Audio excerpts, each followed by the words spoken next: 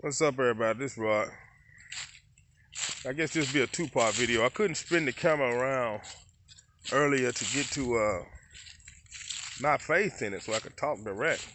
So I just did it from the other vantage point uh, about the ratcheting strap. Um, about the ratcheting uh, the cargo bar. That's what the last video was about.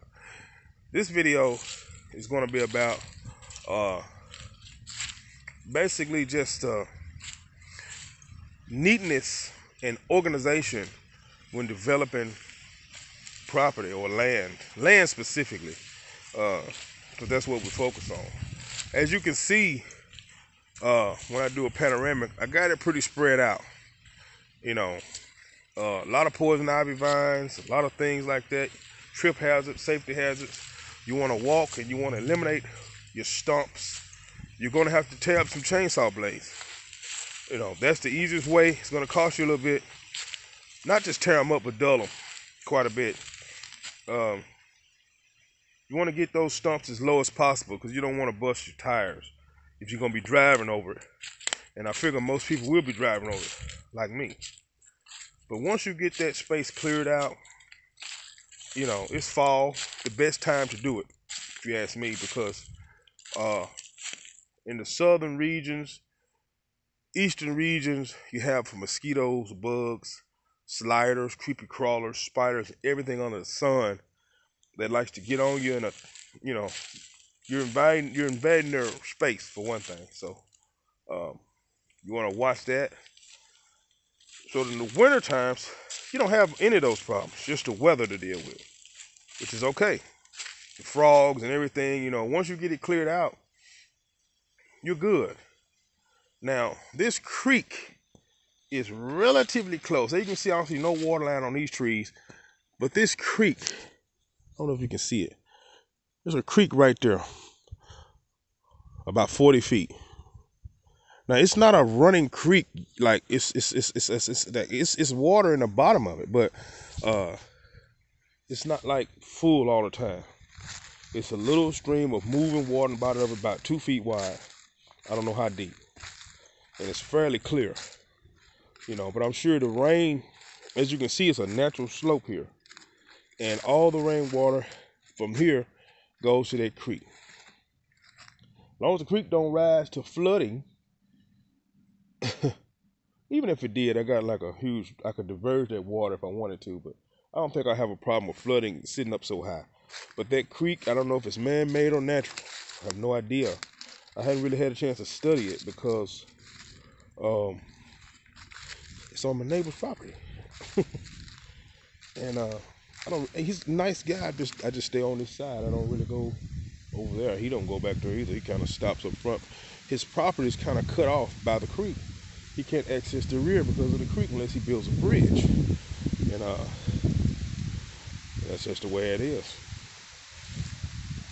But getting the place cleared off, getting it organized, getting it open, placing everything that you need to place where you need to place it is what I'm working on. And you wanna you wanna do that, you know, right away, in my opinion, because you don't want to be coming back double working, you know.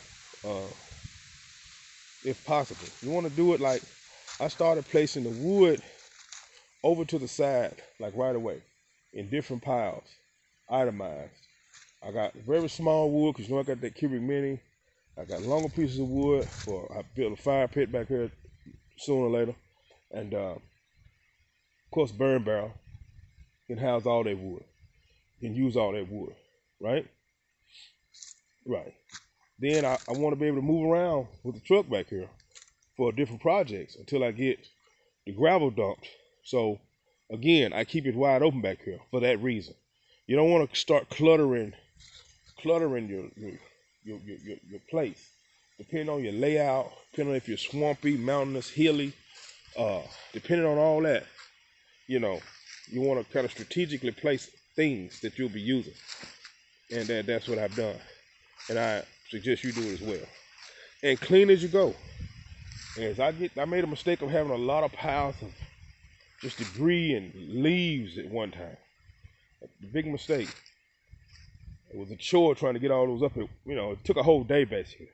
So now I clean as I go. Try to as I make a pile, I clean a pile. You know, and it keeps the place organized and clean and work ready. Right, right.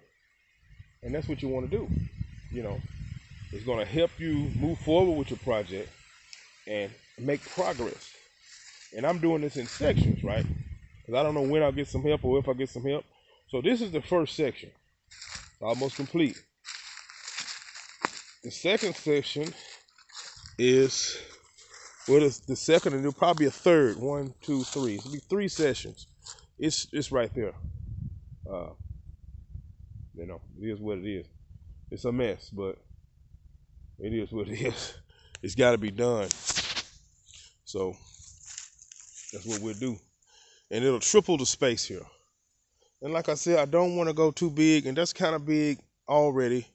Technically, this space would probably be manageable for one individual, but I'm gonna go a little bigger than normal, just for ego's sake, and just for, um, you know, just, just, just I guess just for ego's sake. I don't know why I want to go that big. I'm going back there beside the creek. Um, I don't know. I just want to go that big. I guess it's for ego's sake, because I could stop here and be perfectly fine. You know, kind of. Yeah, this is enough. It actually is enough right now. But I guess they say go big or go home. I'm gonna triple the space. And by tripling the space, I'm thinking 125 truck of clay gravel will probably f- fill this space. And we're talking probably two or three to do this whole thing. So also affected my pocketbook. But I think I'll be glad I did in the long run. Um, I stopped that for that for for that down there for a reason, I believe, and you know, I think that will be a goal that I can reach. Okay, but that's just a few tips I wanted to throw at you. I got my wool hat on today. My son gave me this hat. Uh, gift.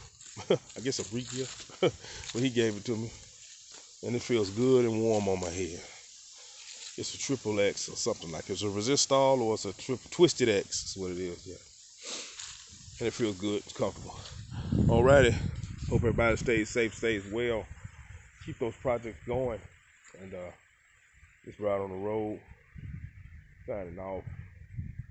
Y'all take care. GBA to everybody. Peace.